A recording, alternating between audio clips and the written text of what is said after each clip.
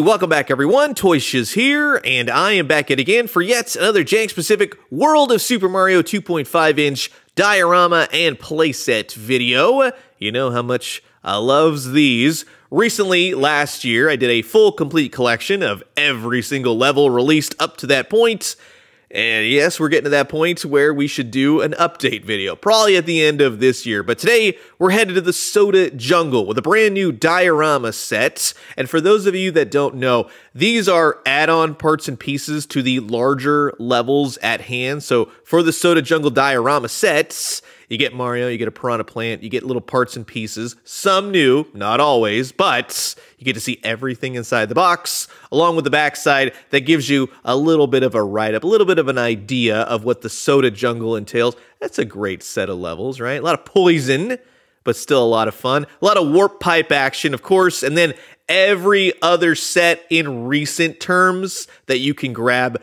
for your collection, and I highly recommend them. Now, mine came from Amazon, but it remains to be seen if these will actually hit stores, but here's the barcode just in case. Now, you've looked at the diorama, and now we have the larger Soda Jungle playset. So these go together, parts and pieces, make it your own Mario Maker the heck out of this thing. And what I really like seeing, what Jakks does so well, is that they implement parts and pieces from the various worlds that these playsets are based off of.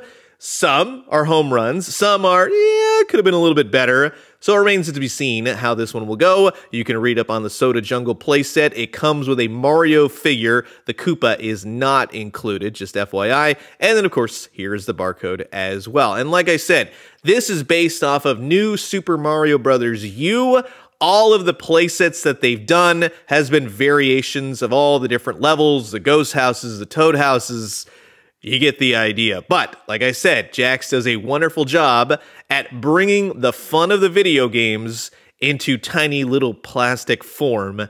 And when you have them all together, my God, is it amazing. So, this is going to be an absolute blast. Sit back, relax, grab yourself a nice hot cup of coffee. This is a look at the brand new Jakks Pacific World of Super Mario from their 2.5 inch collection, the Soda Jungle playset and the Soda Jungle diorama set. Let's, go.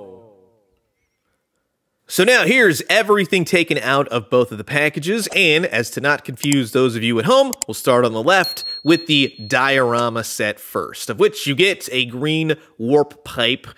As those of you know that have been collecting these, this is not the first time we've seen a green warp pipe, although it's very integral to Mario Brothers, right? It has a little mechanism on the side, a little lever, allows you to push it up and down, elevating your character, doing the whole and it's very effective. So you take your Mario, you put him inside the warp pipe, you get him going up and down.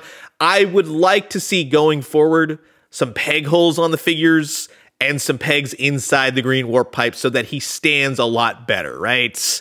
That way you're not popping him out every two seconds. It does work with the piranha plant if you want to go that route. However, because his leaves stick out to the sides, it will get kind of cumbersome moving him up and down in a fluid sort of motion. Now, the piranha plant himself, herself, itself, whatever. It is nicely done. For 2024, as seeing this mold for years and years and years now, it still has nice crisp paint. The teeth are nice and sharp. But as they've been updating the 2.5 inch figures with some articulation, let's get a chomping jaw going. I think that that would really make this pop. Mario himself. The main drawback for this is that this Mario is not the newest one with all the latest and greatest articulation which then, as you'll soon see with the level playset Mario, you really only need one, right? It kind of does everything. This is a nice new addition, though, with the Wiggler. Now, this is listed as a baby Wiggler. It's just a smaller Wiggler. That's how I refer to it. But it has all the articulation as the larger Wiggler, which we got last year. So everything moves. The legs, the shoes, all the different segments in its body that is very cool. And again, largely it's all colored plastic but for what paint it does have. It's cool. Even the little flower on his head moves. But that's nice to see. So you have a larger Wiggler and a baby Wiggler. And this right here, this is a perfect addition to what I want to see for when you want to build out and display your levels. This is a star coin, of which each level usually has around three of these, right? Which would have been great to have three and also a stand to put this on so that you're just not putting it in there, right? Something to hang it or elevate it. That would have been really cool. Hopefully, we can see that going forward with any future release of Star Coins. Now, with the level itself, this is where it's a really nice looking level, let's say, right? So you get the little teeter totter, little elevated mushroom, whatever the heck this thing is supposed to be. And it's got nice paint every which way. It's got the whole wraparound candy cane looking thing, and then it has a little base with the leaves and the ground. So again, very much Super Mario Brothers.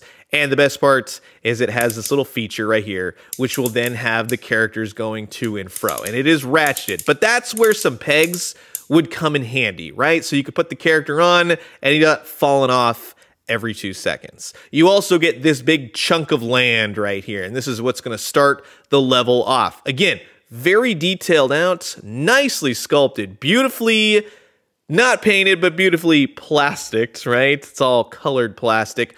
But it is very effective and very evocative of the Mario level. So you have the flat top right there, plug this in into the base, and you're going to have your Mario off on his new level adventure. Now, we've seen this before as well. You have the two blocks, you have the question mark in the middle, and you have the button underneath. And essentially, as you plug this into the back of the greenery of the level, push the coin down, and then on the bottom, use Mario to then pop the coin up, and he gets a coin, right? And thus, you take your Mario, boom, you hit the coin block, collect coins, and you can buy stuff. Now, you have, again, another piece of land. It's like a bit of a, a slide, kind of, sort of, but it is a level element that you see when you're running along each of these Soda Jungle levels. Plugs into the base, looks nice, very cool, nicely sculpted. Now, the backside is this giant floral piece, right? And this is a giant sticker.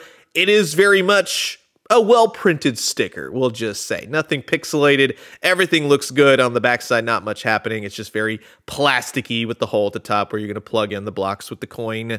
Nicely done. And then finally, I think the best part about this level playset is the slimy, poisonous goo that if you fall in that, you're dead. The color looks great. I love that it's like that clear plastic purple, which is so effective, right? It's very evocative again of the Super Mario Soda Jungle. You have two of those, and those are going to interconnect and lay the groundwork for your entire level fun. So again, I love just the sheen of it, all the texture effects.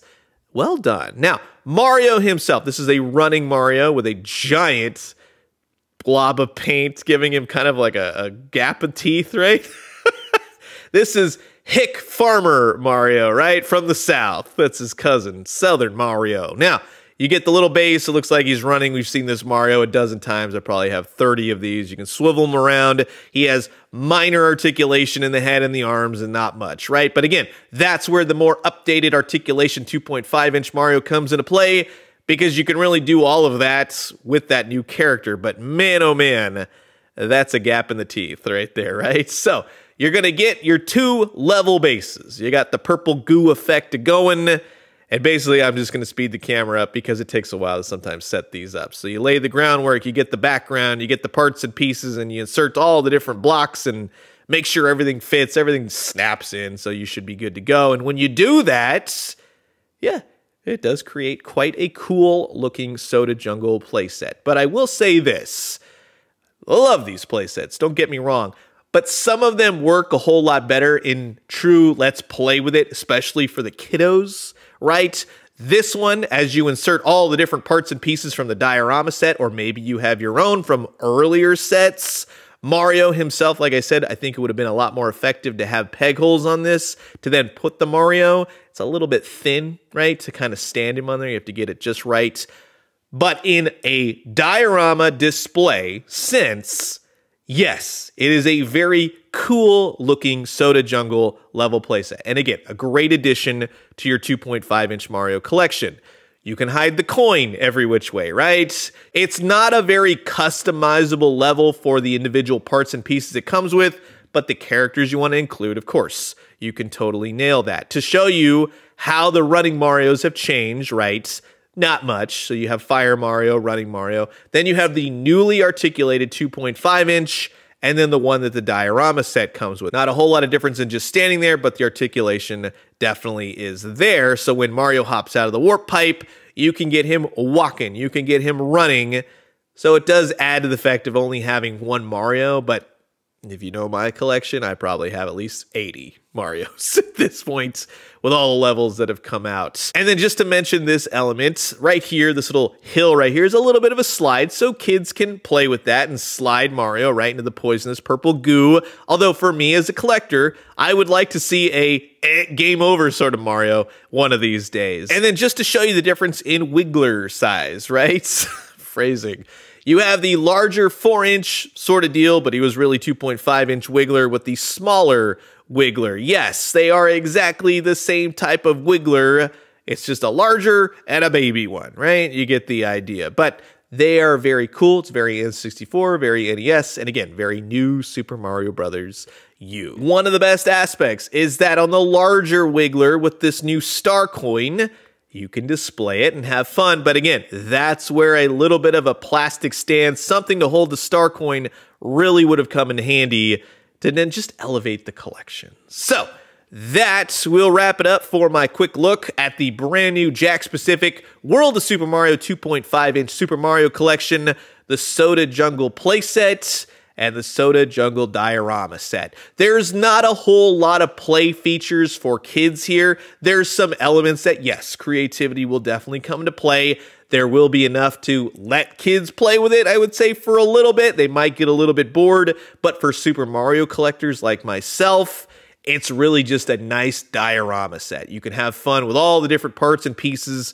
that you have collected over the years. You can make a nice display for the Soda Jungle and it really will pop. The purples look good, all the colors match, the yellows of the wigglers. You can have a lot of fun. But you've heard my thoughts. Now I'm curious to know yours. Comment below, let me know. Let's talk everything Soda Jungle. And I'm going to leave you guys with that. As always, drink some great coffee, eat some great food, but most importantly, remember what is the next level you want to see made from the Super Mario Brothers video games. And when you do, let me know what you found. I'll talk to you guys soon. Adios.